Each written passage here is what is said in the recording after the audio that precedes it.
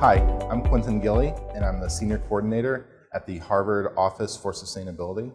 And my role here is to make our labs as energy efficient as possible. We also have a holistic plan that also focuses on our culture and learning and educating our researchers and students on how to make a safe, sustainable community. One of our main areas of focus with our Green Labs program is to look at plug load. And one of our biggest plug load users on campus is our ultra low temperature freezers or minus 80 freezers. We have several uh, opportunities to uh, improve the efficiency of our freezers. Number one is to get more energy efficient freezers in our labs. The way we do that is to provide an incentive to purchase the most energy efficient freezers possible.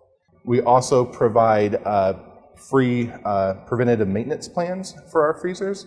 This includes uh, filter changes and inspections that, and the information is given back to the labs so that they can make repairs if necessary. And this helps improve the longevity of the equipment, but also improves the energy efficiency. So one of the main things you can do in your lab when you're designing and planning it out is to consolidate your ultra low temperature minus 80 freezers into one single area. And by doing this, you can use a dedicated air handler to capture all the rejected heat that comes out of those freezers and exhaust it out of the building.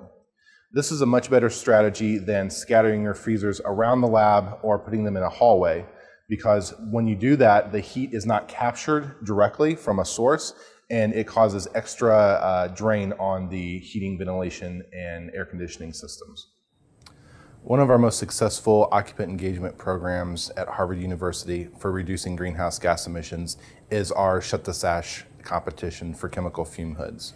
We have 34 labs involved in the competition, and it's a monthly competition so that each lab has a specific goal to reduce their greenhouse gas emissions.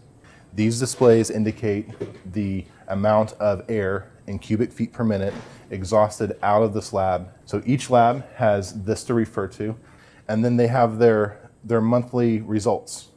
So each lab has a specific goal based on the number of fume hoods and the type of research that they do. So for this lab, for example, they came in under their numbers over the course of the month and they achieved their goal. That means that they get invited to special parties um, and events at the expense of the Office for Sustainability to celebrate their success in the program.